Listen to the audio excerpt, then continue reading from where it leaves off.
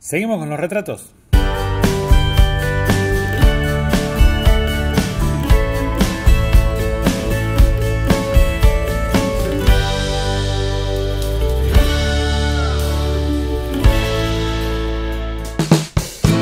Hola amigos, bienvenidos a una nueva edición de Charlando de Fotografía entre Mate y Mate.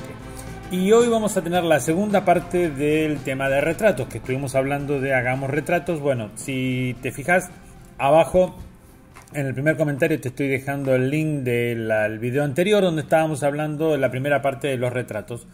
Pero vamos a centrarnos esta vez en cuatro aspectos fundamentales que los nombramos en el video pasado, pero los dejamos ahí, que son los siguientes. El encuadre, el manejo de la luz, la pose y la mirada. Dijimos que el encuadre y la luz son de parte del fotógrafo los encargados de realzar al retratado, generando una actitud y un carácter representativo de la persona. ¿Está? Y por otro lado, hablamos que la mirada y la pose son dos de los aspectos más importantes que representan a la persona a la hora de un retrato fotográfico. Una de las cosas que dijimos que íbamos a hacer en esta charla de esta semana es tocar estos cuatro puntos por separado y hablar un poquito de ellos que te van a servir mucho como para arrancar con esta cuestión del retrato. Pero antes de arrancar con esto, quiero decir algo porque algunos me han escrito y me han preguntado eh, y está esta cuestión de los retratos robados. Bueno, desde mi punto de vista no existe el tema de los retratos robados porque si necesitamos conectar con la persona que vamos a retratar, si necesitamos conocerla, si necesitamos este, hablar con ella para ver cómo representamos su personalidad, fotografiar a una persona en la calle que no tenemos la más mínima idea quién es, me parece que no representa su personalidad. Probablemente pueda llegar a ser un buen reportaje, si dejamos contexto y si de alguna manera podemos ver qué está haciendo esa persona y qué es lo que está pasando con esa persona. Si no, sería un mal reportaje. Pero yo no creo en esta onda de los retratos robados, es fotografía de gente en la calle. Pero para mí, para que sea retrato, tiene que cumplir esta cuestión fundamental de que, de que haya una conexión con la persona y que sepamos qué vamos a representar técnicamente. O sea, Tal o cual característica que yo pude interpretar en la personalidad del sujeto la voy a representar fotográficamente de tal manera y este va a ser mi retrato de esa persona. Creo que esto de alguna manera es una síntesis de lo que venimos hablando con respecto a esto de representar la personalidad del sujeto en una imagen. Pero bueno, vamos con estos cuatro aspectos que son fundamentales y que necesitamos entender a ver cómo funcionan. Vamos a hablar en primera instancia del encuadre. El encuadre es quien determina cuánto veremos o no. Dispone la cantidad de información necesaria. Cuando nos excedemos caemos en lo que llamamos ruido visual y le quitamos protagonismo a nuestro sujeto principal. Lo que tenemos que entender es que todo lo vamos a controlar con el encuadre y en el encuadre vamos a dejar que entren los elementos o vamos a incorporar en la composición los elementos que nos parecen idóneos para representar a ese sujeto o que acompañaría muy bien como una información secundaria o complementaria de quién es esa persona, qué se dedica, qué cosas, qué, qué ambientes son las que realmente lo, lo identifican o cosas por el estilo, ¿ok? O lo representan. Pero lo importante es eso, que en el encuadre vamos a meter toda la información que necesitamos que el espectador o que el mismo retratado tenga para poder reconocerse o para que uno pueda al ver ese retrato entender algo acerca de esa persona. Yo siempre digo que para mí un buen retrato es cuando el espectador, sin conocer a la persona que está retratada, puede hablar de esa persona, puede decir algo acerca de ella. Eso me parece que es un buen retrato. Pero bueno, ¿cuáles son los elementos que componen un encuadre? Y esto ya nos metemos un poquito en composición. El encuadre está determinado por el punto de vista, el ángulo de toma, la distancia focal, el plano y el formato. O sea que hay cinco puntos que determinan lo que es básicamente un encuadre. Para determinar mi encuadre voy a tener en cuenta estos cinco puntos. ¿Por qué? Porque en eso voy a poder expresar lo que quiero decir, voy a poder tener toda la información necesaria y estos cinco puntos son los determinantes para ver cómo me manejo. Entonces, decíamos que una de las cosas que podemos tener en cuenta es el punto de vista, el ángulo de toma. Bueno, yo puedo trabajar con una toma a nivel, o puedo trabajar con una toma de picado, o puedo trabajar con una toma de contrapicado, o sea que puedo estar al mismo nivel del sujeto, más de arriba o más de abajo. Fíjense cómo altera el tema del punto de vista. Acá estoy haciendo un retrato de este profesor de karate que tiene heredado de su maestro todo este equipo de kendo, ¿no? Eh, y la idea era hacer un retrato donde apareciera eso. Cuando yo encuadro me encuentro con esta situación. Yo quería que aparezca bastante del kendo, pero eh, la cuestión era que no, no, no le quite protagonismo al retratado. Bien, en este caso particular, entonces, una de las cosas en las que tenía que trabajar es cómo lo hacía resaltar a él. Fíjense que simplemente agachándome un poco, ya toma mucho más protagonismo. O sea, lo hice dar un paso más adelante, perfecto, pero me agaché, ya la cabeza de él está a la misma altura que la máscara de Kendo, cosa que no pasaba antes, ¿eh? fíjense, y eso ya le da otro protagonismo al sujeto. Así que el punto de vista es fundamental, la altura desde la que hacemos la foto, y puede pasar una cosa o la otra según querramos nosotros representar. Después dijimos que el otro el punto que afecta esto es la distancia focal. Así que podemos trabajar con un gran angular, por ejemplo, como es en este caso, o podemos trabajar con un teleobjetivo. Yo particularmente me quedo con la foto del gran angular, porque me parece que toda esta parte acá no tiene mucho sentido, no aporta ningún tipo de información real. Yo lo que quería ver y quería representar es esta onda de, este muchacho que se, se esconde detrás de su música, vamos a decir. Entonces me pareció piola el tema de trabajarlo de esa forma. Eh, pero básicamente me parece que arrancando de las teclas ir a la cara de él era mucho más impactante que mostrando todo el teclado en sí. Así que podemos trabajar con un gran angular, podemos trabajar con un normal, 50 milímetros, en este caso creo que debe ser un 55, algo así. O podemos trabajar con un teleobjetivo que comprime mucho más el plano, que de alguna manera nos permite ver este, las cosas mucho más cerca entre sí y que generalmente no produce distorsiones el teleobjetivo, por eso lo utilizamos bastante para lo que es los retratos, porque no genera ningún tipo de distorsión o deformación en la persona. El formato, dijimos, el formato puede ser vertical o puede ser horizontal o puede ser un formato cuadrado. Atenti, todo va a depender de la cantidad de elementos, de cómo organicemos nuestra composición, de cómo, cómo querramos que luzca el sujeto en nuestra foto. Y por último tenemos el plano, que puede haber planos eh, general, plano corto, pero para retratos tenemos planos específicos. Por ejemplo, tenemos cuerpo entero. Cuando hablamos de cuerpo entero es cuerpo entero, o sea, entra todo el cuerpo, no cortamos nada, que puede ser de pie, sentados, puede ser acostados, está todo esto es cuerpo entero, no se corta nada. Toma americana, que estamos cortando arriba de la rodilla, no abajo. A lo sumo en la rodilla, pero arriba de la rodilla medio cuerpo, ya donde cortamos a nivel de la cintura. O este, que también puede ser horizontal o puede ser vertical. Fíjense cómo también acá empieza a influir el tema del eh, formato, ¿no? O busto, que es cuando cortamos a la altura del pecho o de los hombros. Y también tenemos primerísimo primer plano, que es bien el rostro, que corta casi en el mentón. Generalmente manejamos el tema de close-up, o sea, el corta acá arriba. Pero todo eso determinamos a través de nuestro encuadre. ¿Ok? El punto de vista, el ángulo de toma, la distancia focal, el plano y el formato. ¿Cómo va a ser? Y eso está muy bueno porque lo podés planificar. Bueno, hacer un retrato de tal persona, estuve hablando con ella, lo que yo quiero expresar es esto, aquello, lo otro. Bueno, ¿cómo sería un retrato si lo hago en formato vertical? Que se supone que debe hacer, no siempre tiene que ser así. Bueno, haces un dibujito, agarras una hoja, pum, y pones, bueno, puedo estar la persona acá y acá tales elementos que me den empezás a planificar para que en el momento que te encontrás con la persona no andes improvisando que te salga cualquier cosa. Yo sé que están los genios de la improvisación, viste que quieren hacer cosas locas y toda la historia está perfecto, pero generalmente terminan haciendo algo más o menos y zafando, que no es la idea de zafar. Entonces, qué bueno sería que te pongas a planificar y veas, por ejemplo, en tu caso, cuál sería la mejor manera o qué sería lo ideal este, para ese encuadre que querés trabajar. Y estos son los cinco puntos que tenés que respetar, ¿ok? Seguimos. Vamos con la mirada.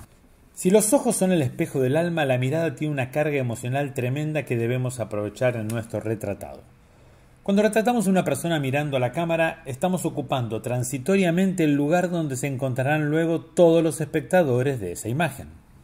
Así que cuando le pedimos a la persona que mire a la cámara, es porque realmente hay algo interesante en su mirada hay algo que vale la pena, hay algo que, una expresión, un gesto, algo que es interesante, entonces le pedimos que esté mirando directamente a la cámara, que enfrente la cámara. Porque si el fotógrafo conectó con el sujeto, muy probablemente también el espectador va a conectar. Ahora, cuando le pedimos al sujeto que mire fuera, puede ser que empecemos a generar un pensamiento en el espectador de hacia dónde mira, por qué está mirando así, qué estará ocurriendo. A veces el objeto de la mirada puede estar dentro del encuadre, a veces no, ¿está? Pero sea una cosa o la otra, le estamos quitando el peso o la carga al sujeto de tener que expresar algo a través de su mirada o de, su expresión facial o cosas por el estilo. Son las únicas dos alternativas. Cuando nos vamos a manejar con esto de la mirada o cuando nos vamos a manejar con esto de si, si mira a cámara o mira fuera de cámara, cosas por el estilo, vamos a tener que evaluarlo muy bien. Yo conecté, yo descubrí en la persona un gesto interesante, una sonrisa, una mirada que puede ser atractiva. Bueno, entonces que mira la cámara. ¿Verdad? Si no, prefiero que mire por otro lado porque si no tiene nada, nada interesante, si la persona tiene una mirada tipo jugador de póker, viste ahí, no tiene mucho sentido. Entonces lo vas a exponer a la indiferencia y ese retrato no sirve para nada. Así que es preferible que nos manejemos con el hecho de mirar para otro costado y listo, no tenemos problema. Continuamos con la luz, la iluminación. Da la información necesaria con respecto a formas, volúmenes, colores, textura, Determina el carácter moral o emocional de la foto por la difusión, dirección y nivel de contraste. Crea los climas, el ambiente. Nos permite imaginar al utilizar la iluminación en forma narrativa como portadora de significado. O sea que con la iluminación vamos a crear toda una serie de características. Primero vamos a dar la información acerca de quién es el sujeto, pero además vamos a estar también creando un clima para darle una cierta, un cierto ambiente, una sensación a la fotografía de lo que queremos transmitir. En esta foto que estamos viendo acá, recuerdo que esto fue en un taller, eh, vino esta chiquita para, hacer la foto y vino vestida así, le digo, qué lindo tu vestido, y me dice, ay, fue mi vestido de primera comunión. Qué lindo, le digo. Eh, ¿Y qué es la primera comunión? A ver para vos. Y ella me dice, y la primera comunión es mi primer encuentro con Dios. Ah, le digo, qué bueno.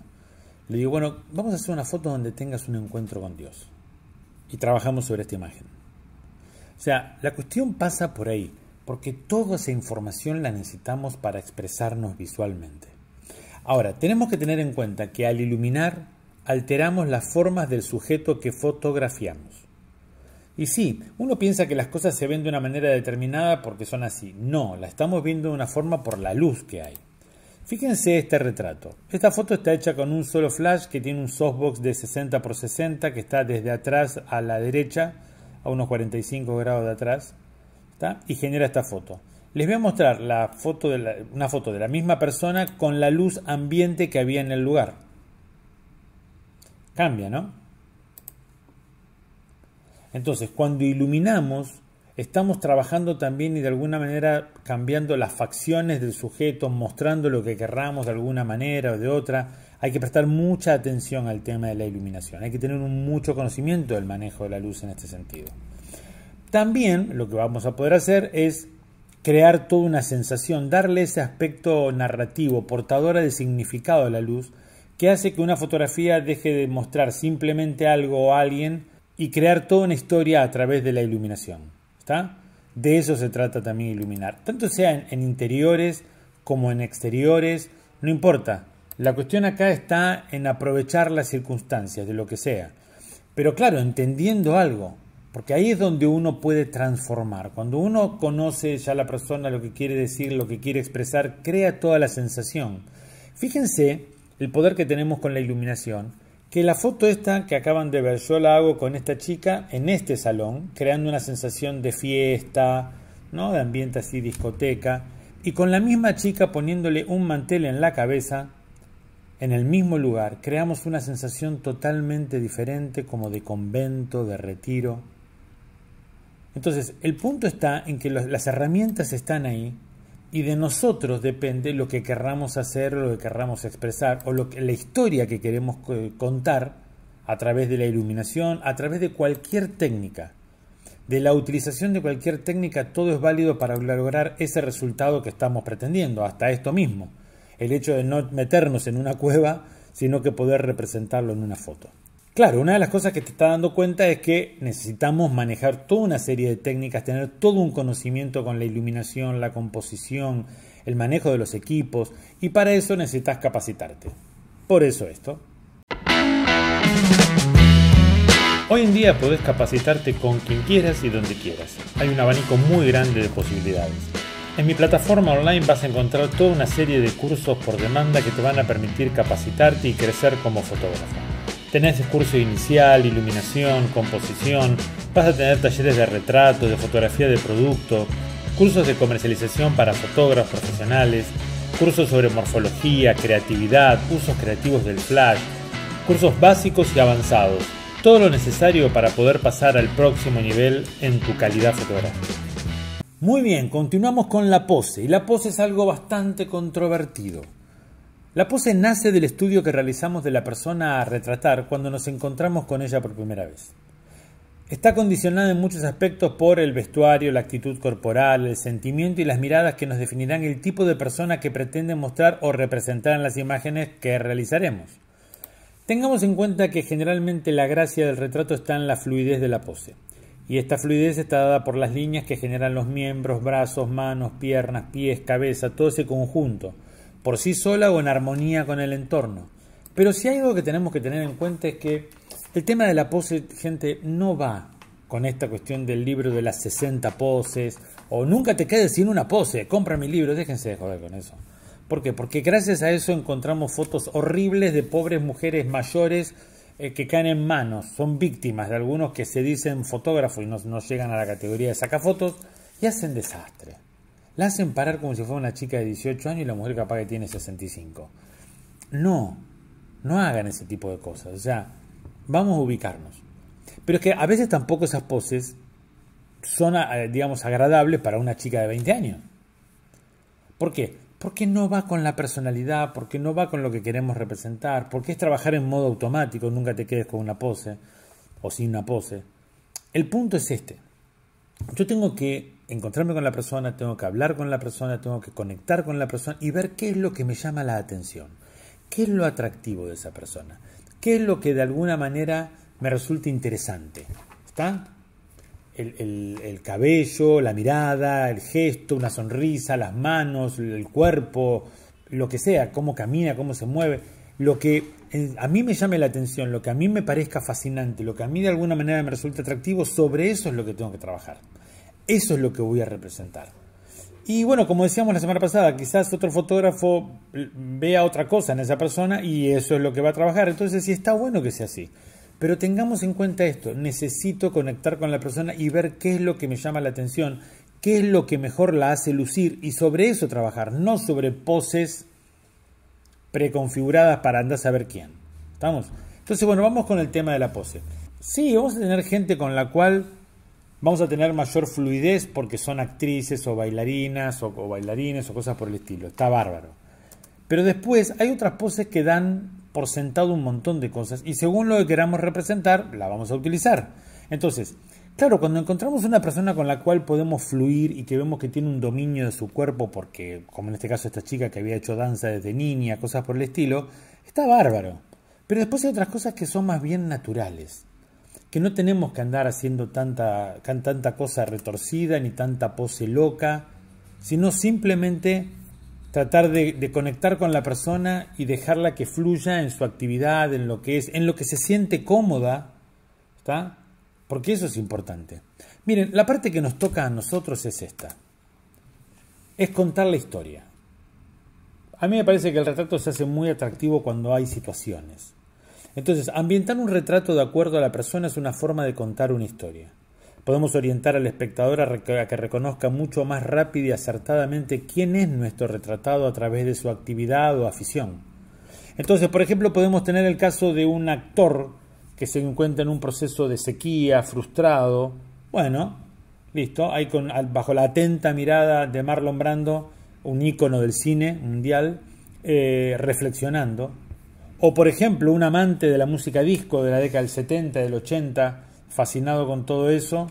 Eh, DJ, bien, también fotografiándolo dentro de ese ambiente. Básicamente lo que tenemos que entender es cómo podemos contar historias con nuestras fotos, con la luz, cómo podemos representar a la gente que de alguna manera tenga un impacto visual, a ellos les guste verse en esas situaciones, sea un cocinero, sea un pintor, sea un músico o hasta simplemente el, amor de barrio que se vuelve a reencontrar. Sí tenemos que pensar, sí tenemos que entender que el retrato es mucho más allá que hacer lucir a una persona como si fuera una modelo, no es eso el retrato. El retrato es representar la personalidad del sujeto. Me gustaría que me escribas, me gustaría que me digas a ver qué pensás de todo esto, cómo lo ves, cuál es tu opinión al respecto, qué, qué, qué tal te resultó todo esto, si realmente te sirve, cómo ponerlo en práctica o cómo lo pones en práctica. Todo eso estaría muy bueno que lo podamos hablar. También te quiero invitar para que te suscribas al canal, para que le des clic ahí a la campanita, para que te avise cuando subo algún tipo de material y que sigamos en contacto, sigamos aprendiendo mucho más de esto de fotografía, porque me parece que es la manera en que podemos nutrirnos todos. Gracias por acompañarme y nos vemos en una próxima charla de fotografía entre mate y mate.